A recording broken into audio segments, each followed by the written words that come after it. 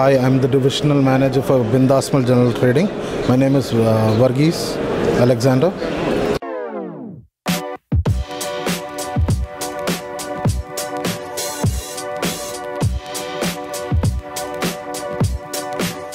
We basically are into the HVACR uh, for the past uh, 40 years. Uh, we are there in the UAE market and we have expanded ourselves into the Middle East, basically the GCC. Um, uh, we, are, we are there in, uh, in uh, Oman, uh, Saudi, and uh, Qatar.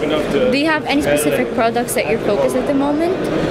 Yeah, we have a, a product called as uh, Clear. They're in, they're basically uh, selling refriger- refrigerants, and uh, we are we have an exact equivalent repl- replacement for the R22, the conventional R22 gas, which actually is bad for the ozone, and we have an exact replacement for the same. Do you have any launching for next year? Yeah, we would be doing uh, Lawton, our economy range of copper coils, which is uh, which would comply the 410 gas, uh, and then we will be launching the um, clear ga- 421 gas also next year. Uh, uh, both uh, these are for the next year.